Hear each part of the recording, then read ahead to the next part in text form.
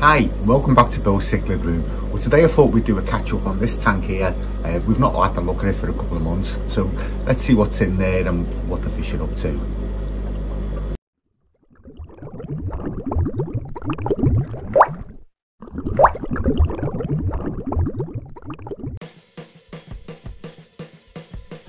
So this is my American cichlid community tank. Uh, there's quite a few species in here. Most of them are actually Central American, uh, but there is four uh, Geophagus Tapajos redhead, uh, which are obviously from South America. Uh, there's some Colletti tetras and some Buenos Aires tetras, and there's some of the Corydoras as well. So obviously they're all from South America, and everything else in here is from Central America. So what we've got in here is the Geophagus, as I just mentioned. Uh, there's four of those. Um, two of them were actually trying to breed uh, a couple of weeks ago, so I've put a video up of that. That was the last video I put up.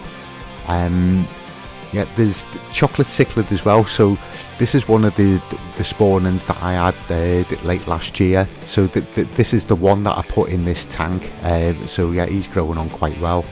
And the Bocourti, uh, they're growing on really well, starting to get some coloration. So they were only tiny when I got them. They were about an inch in size, inch maybe an inch, inch and a quarter tops. Uh, so yeah, they're doing really well. Um, there's a group of the Amatitlania autofluvi in there.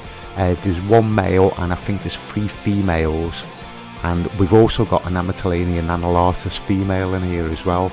Um, she actually did spawn with the male um, like uh, a month or two ago so I did have uh, a little clip of that in one of the videos um, but I didn't raise any of the fry I just left them.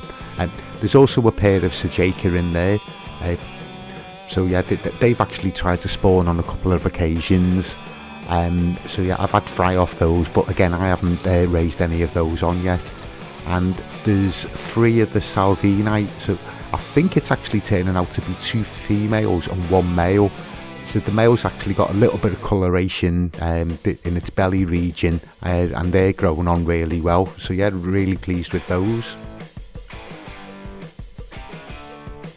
Yeah, you can see Corydoras in the background there, like they're cleaning the back wall for me. Um, yeah, so the, the, there's a group of six of those in here. Yeah, the Colletti Tetra so they're a really, uh, really nice uh, tetra. As you probably know, I have got a soft spot uh, for tetras. So yeah, they're an unusual species. Uh, I've only seen them once. Uh, so yeah, they, they, they, are quite a nice one. Yeah, here's one of the female uh, autofluvi. Uh, lots of nice cold coloration on its side on that one.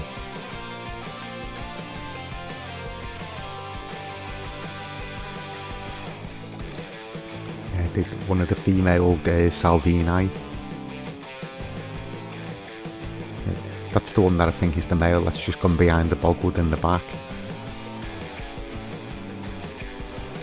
So yeah, it's a community setting. All the fish are all getting along quite well. Uh, there's no fighting in there, no aggression. Uh, so yeah, it, it's doing really well. Um, the the conditions for this tank, it's got a pH of about 6.5. Uh, temperature I keeps to about 78 degrees Fahrenheit and it gets a weekly water change. Um, so yeah, it, it's it's doing really well. So most of the fish in here I did actually get when they were when they were quite small and they've all grown on together. Yeah, it is the male Salvini at the front. Yeah, so just a bit bit of a catch up really. It's a couple of months since we looked at this tank.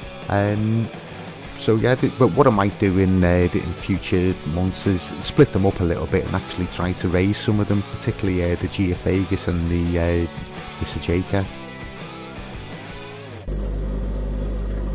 Well, thanks for watching. Hope you enjoyed watching the video. Uh, please hit the subscribe button if you haven't already, and I'll see you all on the next video.